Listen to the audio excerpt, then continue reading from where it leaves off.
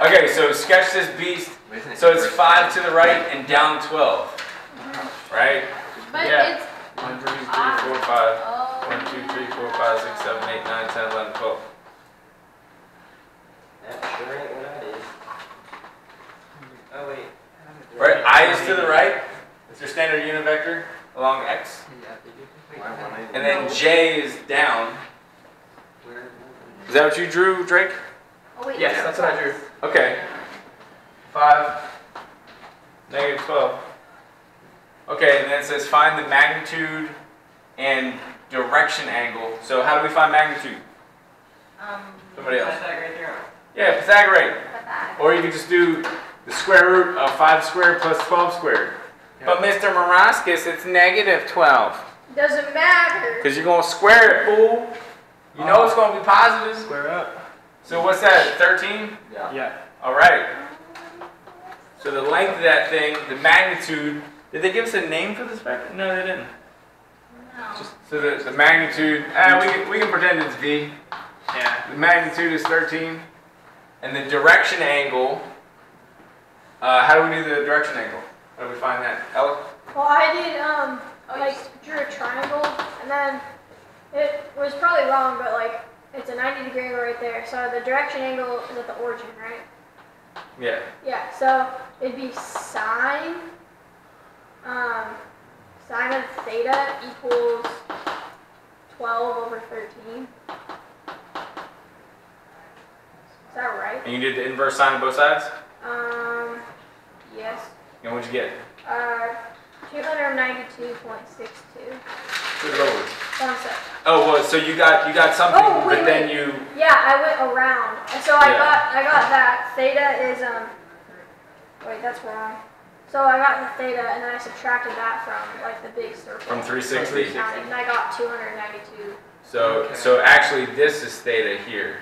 Yeah, So theta 292 degrees. 0.62. 292.6. Two. Let's just say 293 degrees. Okay. Wait, how did you get the 292. angle? Oh, you did the sine. 293. Yeah, so remember we said the direction angle, the formula we wrote down was the inverse tangent Yeah. of the y over the x. I didn't do that. So inverse tangent what of, what's the y component? Uh, the 12. It's negative 12. Let's keep, let's keep the sign. And the x component It's five. It's is just 5. So what happens when you type that into your calculator? I'd like to know. Uh, so you got like six. I've got sixty-seven point three eight. But then I I. got 60. zero point, 67 degrees? oh wait, that's net, I got negative sixty-seven. Yeah, I mean. You got negative 7? 7.4. And then I minus the three sixty. So Yes. does that look like it could be negative 67 degrees? No. Yes. Yes. Yes. Yeah, it does. Yes. I believe that. So you just take the 67 away from 360, and that would give you 293. Yeah. Wait, so don't do the sine thing? Um, either one is fine, but Ella had to think about it. If you just throw it up in this equation, boom, you'll be all right. Except, of course, when there's something funny happens. And so I'm going to give you an example of something that you got to be careful with. There's always exceptions to the rule. Um, let's see. RS. Let me, let me try something different. Can I erase? Yeah. Oh, I don't know.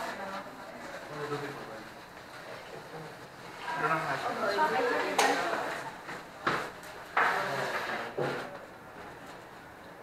Oh wait. Right. Let's cancel. So inverse tan forty one over eight. I got seventy eight. Like just that.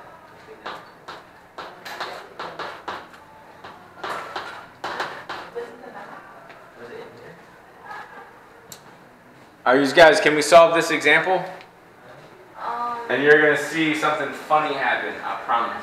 well, I mean, since You're you're gonna be laughing that, so hard. probably not. Um, Yeah, you can, right? So, do you want to draw a picture? Let's. I, I like drawing pictures. They're fun. One, two, three, four. One, two, three, four. One, two, three, four.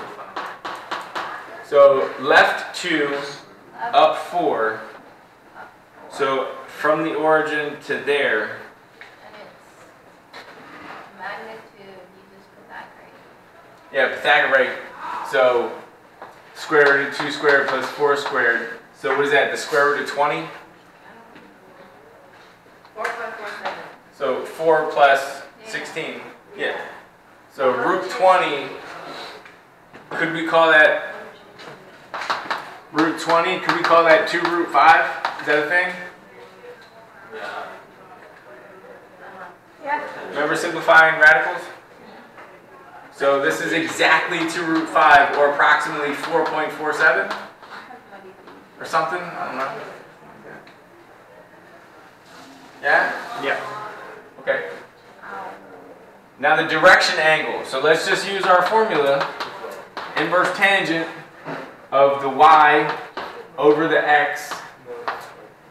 And something's going to happen. Oh, you have a negative. Wait. I'm waiting.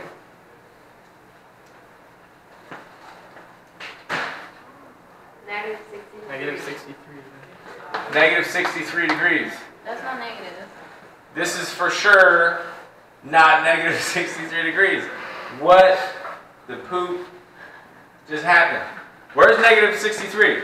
Probably here. Wait, Yeah, what why?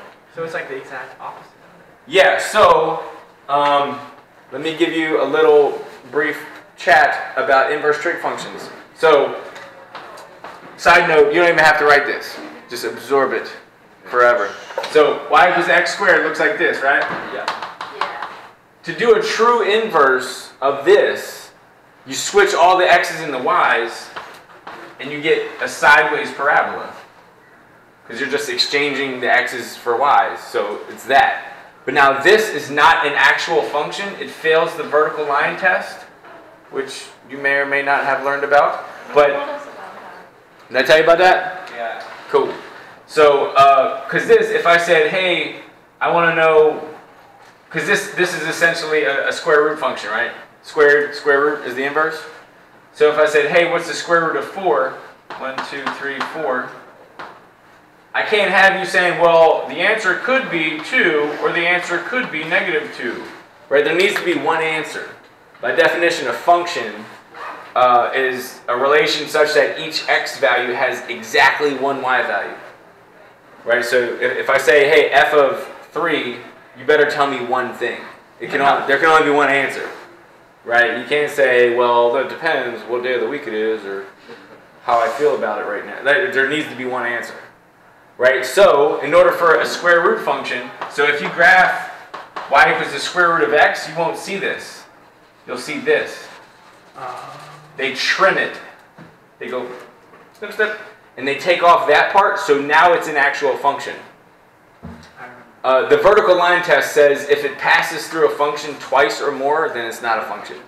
If, it, if you have a curve and it crosses it, that's why when we when we graphed circles, we couldn't. We had to graph the top and the bottom because this is not a function because it crosses twice. But half of this circle is a function. That is a function, and the bottom half is a function. We had to combine them. So there's no, you can't have a function with um, that fails the vertical line test. It's not a function. So the tangent function. Oh, geez, you haven't probably haven't seen the tangent function, have you? Okay. So the tangent function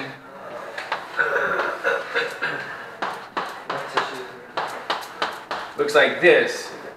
There's a, a divide by zero that happens, and so we get asymptotes. Okay. And it's, it's like this. It's a periodic function. All trig functions are periodic because uh, it's like a circle. You can, you can go around the circle 360, 720 degrees, right? You can just keep spinning around. And that's where all the sines, cosine, and, and tangents all result from spinning around and making little right triangles. Right? So anyway, so this is the tangent function. Yeah? And it goes from uh, 90 degrees to negative 90 degrees. And then it repeats. Yeah, you guys with me so far? Wait, so you just graph something and it's gonna be like that? Yeah, this is the tangent of x. If you graph that. Okay? What about sine? Sine and cosine, those are really fun. Um, the, the sine function uh, goes like this. They're wavy. And then the cosine function is the same, but it starts up top and it does this. So sines and cosines, they're called sinusoidal waves. So th- those are those are wave functions, and the tangent is this weird thing. Wait, do those lines just go on forever? Yes, this goes to positive and negative infinity. Anyway, I thought this was going to be a short story, uh, and now I'm talking forever. But what happens is, if you do the inverse tangent, you switch the x's and the y's, and you get, uh, let's see, we're going to have positive, what's this going to look like? I think it's going to look something like this here. And then So are those cubic? No, it, they go, it's this sideways. So this is the That's not a inverse, function. exactly. This is not a function. So what they do is they, yeah, it's gonna fail the, the vertical line test infinity times. So This is, ah, ah, ah, oh, ah, ah. It's just gonna keep failing. Right? Just never stop failing. Um, so they trim it so that the, the inverse tangent um, only lives in between, oh, this is a positive, obviously, 90 degrees and negative 90 degrees. So anytime you plug into the inverse tangent function, the answer you get will always be between 90 and negative 90. So you can only use the inverse tangent correctly between 90 and negative 90. So if your vector is in here, you can, you can trust it. And if it's not, And if the vector is over here, the tangent just says, uh, uh and it flips it. it says, uh, I don't know Go back that that. Yeah, uh, over here. Because this is, the tangent lives over here. This is the neighborhood that it lives in. And But then can you this, flip this is the other side? side of the tracks where things get shady. You know, there's a. So all you have to do is switch the negative sign. can you yeah, can you just switch the sign when you get it? Like if you have the inverse tangent of something that's other than 90 or negative 90, like it works there.